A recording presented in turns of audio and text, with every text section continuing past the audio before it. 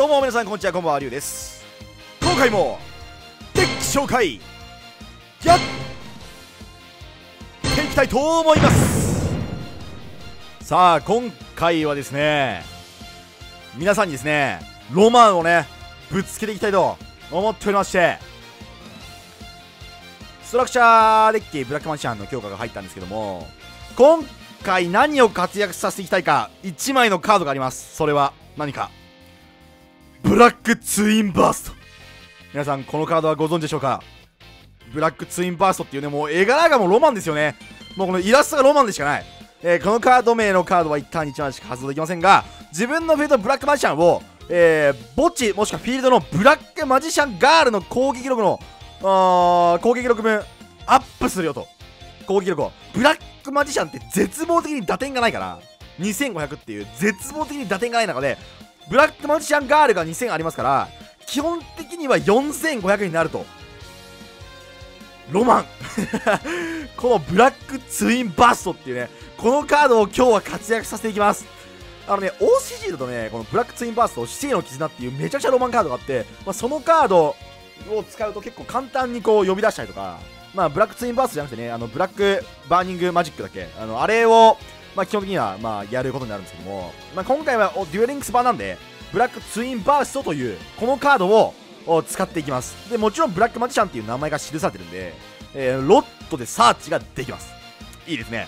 で、えー、っと、ロットでサーチできるということなんですけども、まあ、一応活躍させたいっていう、まあ、要は1枚引いとけば、まあ、そのこっちとかこっちとかもあのサーチするえー、選択肢が増えるんで、一応2枚にしてますね。えー、今日はこのカードを使いたいっていうだけなんで。で、えー、っと、ギミック？あの、メインギミックはナビゲートでブラックマジシャンとか、えー、を出していくっていうことになるんですけども、もちろんですね、ナビゲートはですね、あの、皆さん、その、ブラックマジシャンと、このイリュージョンを出すっていうギミックに使ってると思うんですけども、もちろんブラックマジシャンガールも出せますから。これ、もともとはブラックマジシャンとブラックマジシャンガールを出すっていう、そういうデザインですからね、イラスト的にも。だから、これが本来の使い方なんですよ。本来の使い方を今日やります、俺は。これは本当のブラックマジシャンデッキです、だから。で、えっ、ー、と、ガールを出し、ガールとブラックマジシャンをナビゲートで出して、で、えーと、ガールを、えーと、墓地のロットで即座リリースしていくという。えー、ガール出した、えー、ガールを墓地に行っているロットでそのリリースしてロット回収という。で次のターンに備えるという、まあ、こういったギミックですね。でえっ、とまああの展開札としてナビゲートだけじゃなくて今回はこの袋魔術のベールという。これね僕 OCG でも入れたことあるんですよね。あの今はもう完全に抜きましたけど。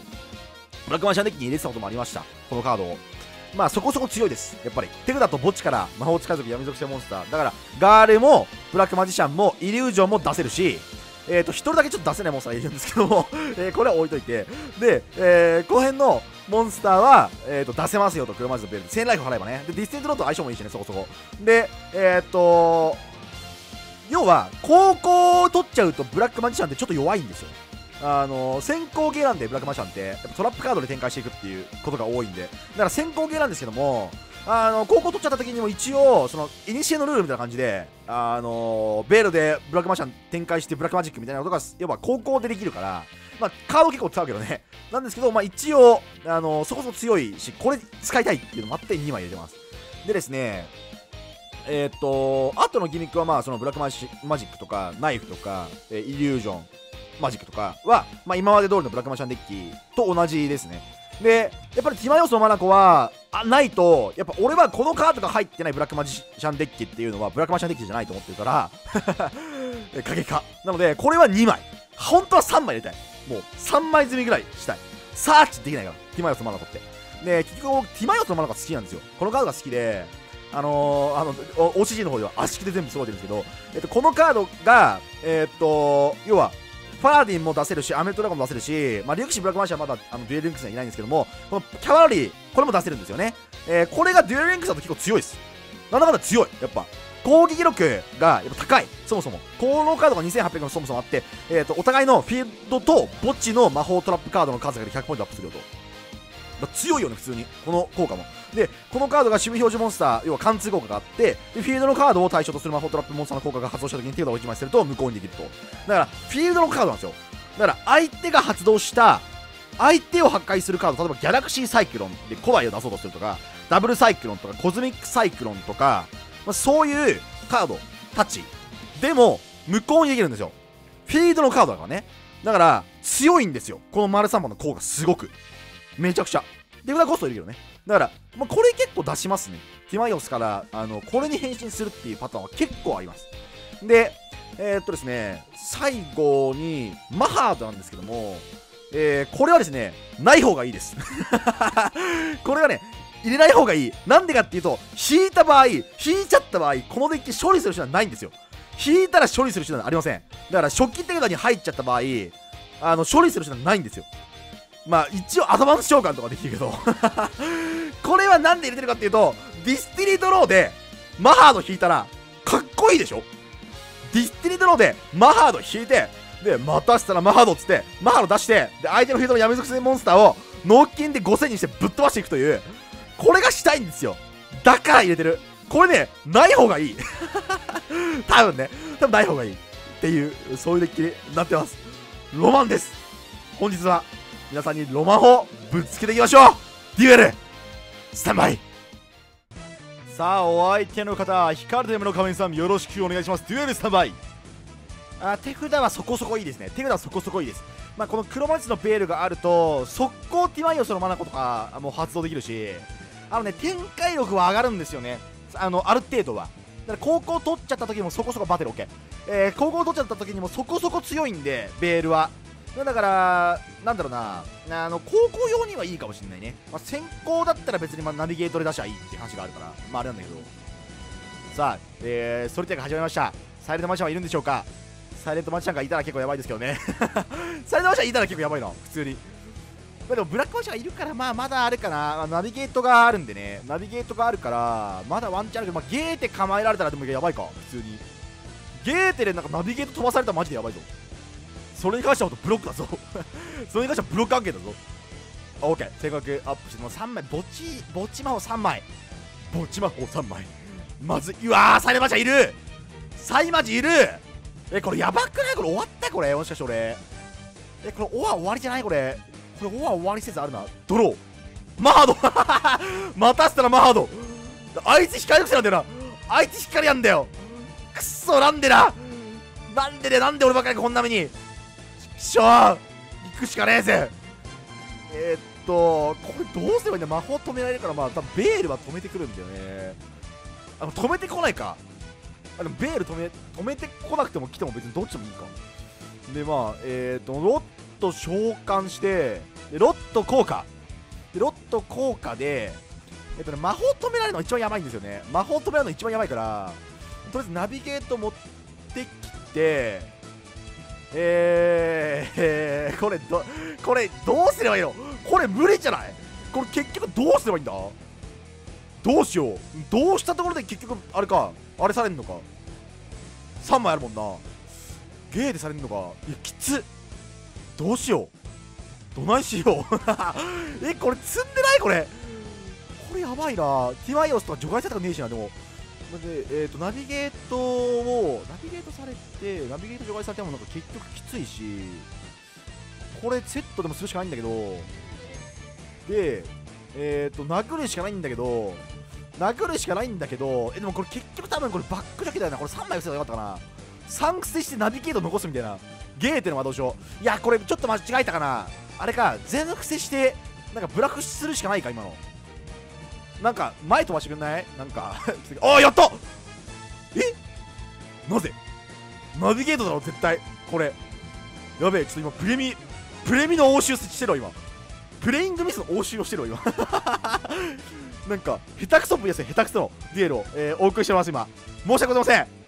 今多分ですねあの、全癖でした方が良かったですね。多分。一応まあ、バック飛ばされるときついんで、まあ、あれまでグリも回収 OK だからえー、っとえー、とベールとティマイオスも一応伏せちゃってでなんかナビゲートなんとか死守みたいなことの方がいいかもしれない今のは。まあねマハードはね出てきた瞬間死にました。そしてマハード出てきた瞬間死にました。言うてねあのー、ランク戦のねレベルはちょっとやっぱ落ちましたよね。あの僕結構思いますけどこれ。あのー、結局あのやっぱ広角がなくなったっていうのがあってやっぱそのレジェンド隊にとどまっててもなんかねやっぱねうんっていう。ま俺が言うのもなんですけどまあこのプレイングプレミオの俺が言うのもなんですけどおっ？ていうギミあのプレイにする人多いでしょ。プレイングする人がおっ？ていうえ？っていうことが多いからまあちょっとその辺はね それはなんかあのー、ご容赦いただきたいと思うんですけども。あこれでもねゲートゲーってここで打たなかったらマジで甘いだよ。これに関しては。これに関してはマジで甘い。でこれディスティニードロー圏内になったからもうこれで。これマジほらこういうの？うん？っていうあのあれじゃない？プリングじゃない？これ削んない方がいいんですよ多分。基本的には。これだってやらいや嫌でしょ？どう考えても。これディスティニードされんだよ次。絶対嫌だろ。でで、えーと、ブラックマジシャンを特殊召喚していくぜ。これが俺のデッキの、えー、綺麗なにして最強のしもべ降臨せよ。ブラックマジシャン。古い方のブラックマジシャン。そしてブラックマジシャンの特殊召喚しさらにデッキよりレベル7以下の闇属性。魔法使いのモンスターを1回と1体特殊召喚できるぜ。俺はブラックマジシャンガールを特殊召喚。現れよ来い。そしてブラックマジシャンガールは即座にリリース。ただのただの下敷きでしかないぜこいつは。ご苦労だったな弟子よそしてスキル発動ディスティニードローだ。俺はディスティニードローによって。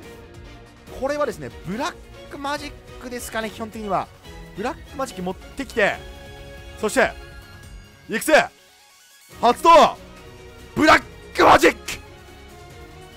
ゲーテ打てよ。ゲーテ打つことだな遅いぜ。ゲーテ打つのが。ナビゲートの方が知らないのか。ナビゲートはフィールド上にブラックマジシャンが存在する場合。墓地のこのカードをゲームが除外し相手のフィールド上の魔法トラップカードを1枚無効にする。これによってゲートの魔導士は無効お前はカードを除外しただけだったな。そしてマジシャンズロットを召喚。マジシャンズロットの効果発動。マジシャンズロットはブラックマジシャンの名前が記された魔法トラップカードを手札に加えることができるぜ。そして黒魔術のベールの効果を発動。俺は黒魔術のベールの効果によって墓地のブラックマジシャンガールを特殊召喚するぜ。これが弟子師弟の絆だ。そしてブラックツインバースト発動。俺はブラックマジシャンの攻撃力をブラックマジシャンガールの攻撃力もアップするぜ。バトルだ。黒い。ブラックマジック。そしてブラックバーニング。えっ、ー、と杖杖ぶん投げ攻撃。対戦ありがとうございました。残念だったな。これがブラックツインバーストの力だぜ。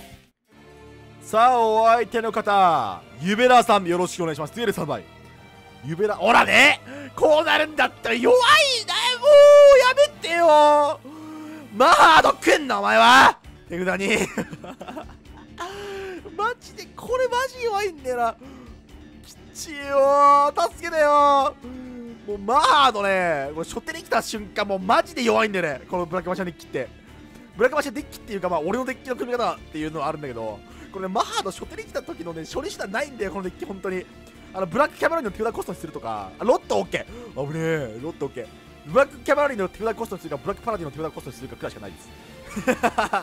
で、えっと、イリュージョン持ってきてえー、っとですねこれはですねえー、っとこうしてえー、バトルですかね一旦。でこれで殴りましょうか。なんもねえか。なるほどな。なんもない。なんもないのか。なるほど。なんもないか。なんもない。まあイリュージョンマジックは、えっと、打っといてブラックマジシャンは持ってきておきましょう、まあ、これバレバレですけどね。これがナビゲートだということか まあでもねこれやんないと結構小伝いとかを合わせられると結局そのイリュージョンマジックに小伝いとか打たれるともうきついんですよねあのサーチした後に出すからナビゲートって。だからその処理中に小伝いされるともうなんかナビゲート意味ないみたいになっちゃうんでね。だからこのえー、っとイリュージョンマジックの発動タイミングは結構考えた方がいいです。相手のその魔法トラップカードセットしてみてあこれ小伝いかってなったらあの打たない。あの打たないっていうかその要はイリュージョンマジックをすぐあのどこで使うかととかいうのを考えないといけないからちょっと難しいんですよね。で単終了時は、えーと、マジシャンズナビゲート。マジシャンズナビゲートの効果によって俺は手札の。ブラックマジシャン1体を特殊召喚するでこれが俺の手札にして最強の勝負これがみんな新しく追加された召喚ムービーだ。かっこいいだろ。見てくれ。お前顔色が悪いぞどうした？大丈夫か？顔顔が多いぞ。風か？えー、ブラックマジシャンガールを特殊召喚するぜそしてこれでブラックマジシャンガールが特殊召喚されたことによって墓地のマジシャンズロットの効果発動マジシャンズロットはマジシャンガールをリリースして手札に回収されるぜ。草。この動き草。ブラックマジシャンガールをただ墓地を置くだけっていう。あ強い！えー、とマジシャンズロットを召喚。マジシャンズロットの効果発動。ブラックマジシャンの名前が記されたカードを。手札に加えることができるぜ。そしてブラックマジシャンが存在する場合これは手札から発動できる。ブラックマジック！かっこハーピーの羽ぼうきさあハーピーの羽ぼうきによって鉄のりで破壊されたらいいだろう。そしてサウザンドナイフ発動。相手のフィールド上のモンスター一体を選択して破壊するぜ。さらに手札のマジックカード発動。ブラックツインバースト。墓地のブラックマジシャンガールのモンスターの攻撃力分だけ。ブラックマジシャンの攻撃をアップする。くらえ知らないと思ったかブラックマジック！主人公してるわ。俺今主人公してる。対戦ありがとうございました。さあお相手の方闇遊戯さんよろしくお願いします。デュエルスタンバイ。デュエル。闇遊戯 VS 闇遊戯なかなか熱いデュエルが見せられそうだな。セット。あセット。あーあオッケー。セットちょっとオッケー。セットちょっと怖いね。イルジョンマジックオッケー。あー強いね。手札強いね。ナビゲート？早くない？殺動数早くない？これ。ナメプか？なんだ？カンパ？かこれ。なんだ？なんだこれ？カンパやばいなでも普通に。このタイミングで発動するのおかしいよねだって。これこれ俺？ナメプですかこれ？カンパカンパカンパもやばいけどね。えーとマジシャンズロット召喚。マジシャンズロットの効果。うわなんかある。えこれだ。けあ忠告！忠告！やべえあしかも強え！これディスティドロできるやん。次。かもなんか俺何もできねえ。あ俺何も使えねえ。くさあくさ えきついきついきつい。きつきついきついきついきつい。きついきついきつい。おディスティドロオッケー。あえやばくないこれで俺もう死ぬか。俺いや何言ってんの俺もう死ぬわ。おふざけんねえでブラックマジック引いてきてこれバック飛ばして終わりか。やばロットかオッケー。やっべえ。ジンゴは。ってこれ先行ゲーすぎない？あ引かれちゃいませんね。かっこいい。セットオッケー。バトルフェイズえデビト？ブラックマジックないの？ブラックマジックねえの？おい俺のセットカード少しはビビれよ。おいふざけんなよこいつ。ビビれよ少しは。ふざけんなよブラックマジックしないでこいつナメップかよ。ナメップかナメップは僕でしたけどね。ナメップは僕でした。対戦ありがとうございました。